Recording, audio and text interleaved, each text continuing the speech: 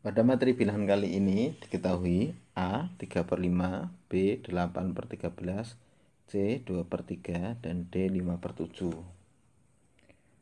Pecahan di atas. Di atas. Yang nilainya.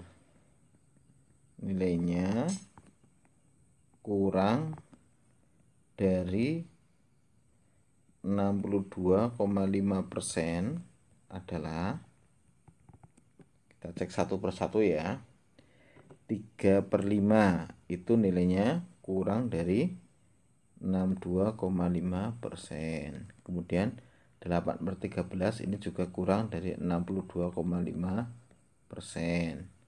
Kalau C 2 per 3 itu lebih besar dari 62,5 persen. Kemudian yang D 5 per 7 lebih besar dari 62,5 persen.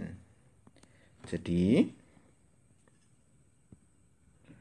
nilainya yang kurang dari nilai yang kurang dari 62,5 persen adalah ada dua yang pertama adalah 3 per 5 dan yang kedua adalah 8 per 13